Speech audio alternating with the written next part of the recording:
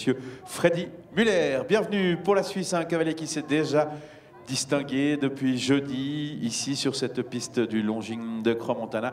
Bienvenue à Niklaus Rucci. C'est parti en direction du numéro 1, le vertical Implenia. Allez, main droite, on va chercher le numéro 2, l'Auxerre aux couleurs de Longines. Ligne brisée, le 3 vertical noir et blanc.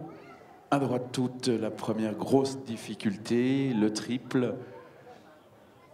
Entrée Auxerre, deux foulées verticales, une foulée verticale. On va à main gauche chercher euh, l'Auxerre côté panneau d'affichage aux couleurs de Sky Night, directement l'Auxerre mosaïque sur bidet.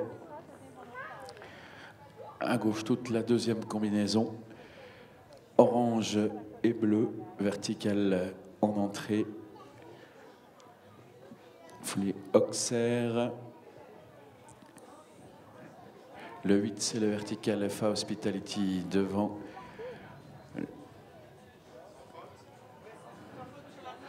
On est sans faute sur la première phase. Seconde phase, vous l'avez vu, l'Auxerre, euh, Banque privée de Rothschild. La ligne 10-11, verticale blanc et bleu. Et Auxerre euh, Jeep devant le village des exposants.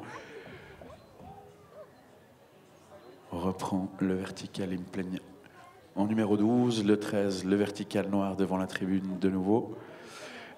Et à main droite, on va chercher le 14, le petit Auxerre jaune blanc et bleu, direction le VIP.